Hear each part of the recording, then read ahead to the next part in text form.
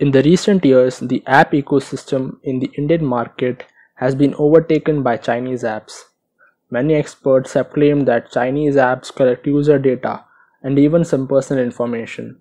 There have been many instances where user data are sent to Chinese server. So here are some best alternative to popular Chinese apps that have flooded the Indian market.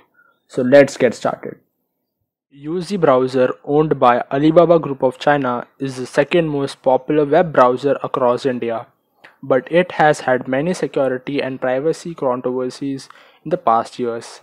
They have been caught for downloading and installing extra modules from the company's own server. This violates Google Play policies that forbid Google Play apps from downloading any executable code. So if you want to browse the internet without anyone monitoring your internet activity, then you should move to a secure web browser.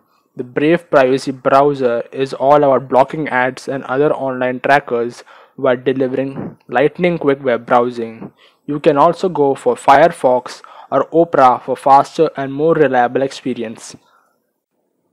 The second one on the list is ShareIt and.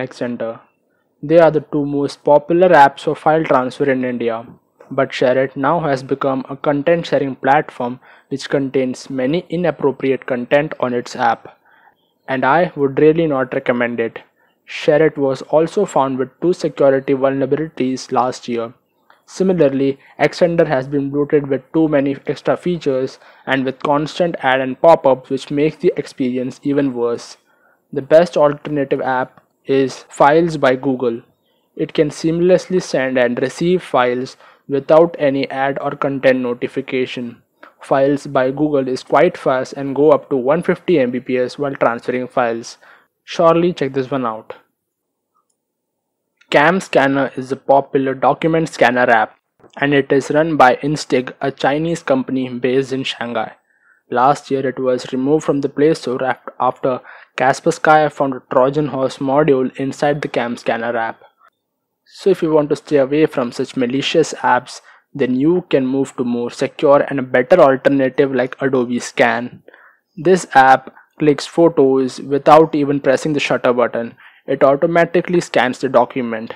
Unlike Cam Scanner, it has a way better user experience and it does not even watermark the pages. AppLock is another popular Chinese app for locking apps. It is run by DoMobile and registered in Hong Kong outside of mainland China. This app is too invasive for an app locker, which keep tracks of all your photos and videos and at the same time have access to the camera and microphone.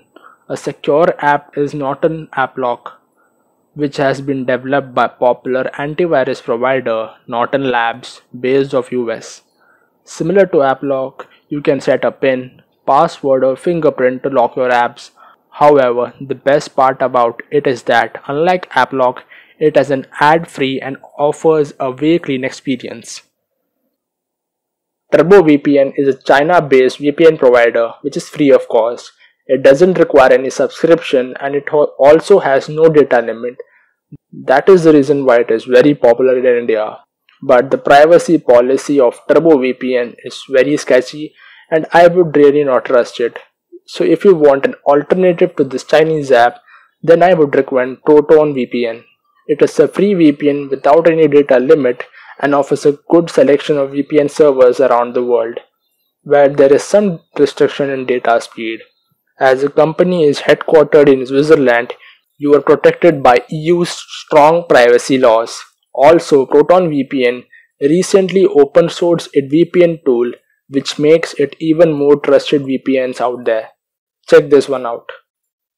WPS Office is an office suite developed by Chinese software developer Kingsoft. This office suite contains WPS Writer, Presentation, Spreadsheet, and PDF Reader. There have been no security concerns linked with WPS Office but you should not forget the fact that it is based in China, where every user data is closely monitored. Due to this reason only, I would suggest you to use Microsoft's Office app, which has all the basic utilities in one app. But if you are ready to download multiple apps for this purpose, I would really suggest you to take a look at Google Slides, Docs and Sheet. It has a multi-device capability which I really like and it is my personal favorite. So that's the video guys. If you liked the video, press the like button and subscribe to the channel and do let me know other alternatives to popular Chinese app in the comments below. And I will catch you in the next one.